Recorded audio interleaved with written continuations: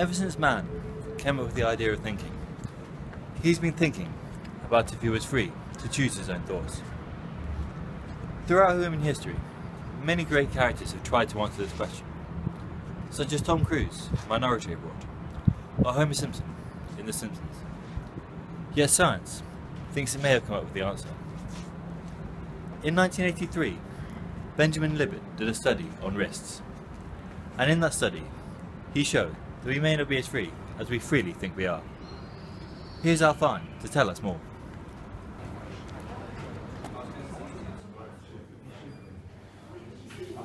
Hello, I am Alfine, the math scientist. I'm here to tell you about the Libet study.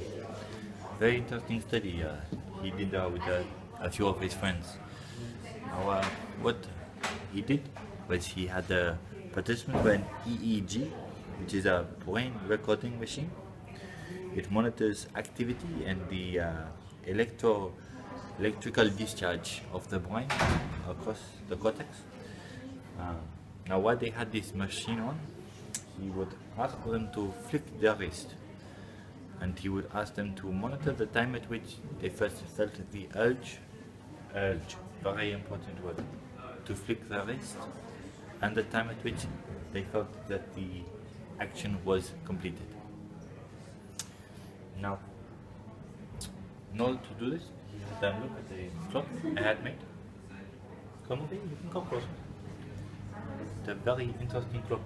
It does one whole rotation every 2.5 seconds and it is a real clock, not one that is on a whiteboard.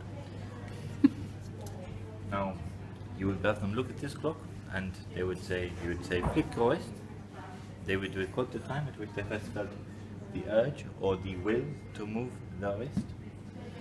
And he would look at their brain activity. Now when he looked at their brain activity, he noticed something, to me not unsurprising, but shocking to a lot of people that think we are completely free agents. He showed that the uh, brain was doing activity 500 milliseconds before they actually completed the action. What's more is that they only felt the urge to move 200 milliseconds before the action. So there was brain activity for these whole 300 milliseconds before they first this first reported feeling this will to move. To me, not unsurprising that the brain is doing things before our mind is aware of it. Uh, you know, uh, we have to have the brain doing the activity and then we are told about it. But to me, but to others, this is a, a shocking revelation.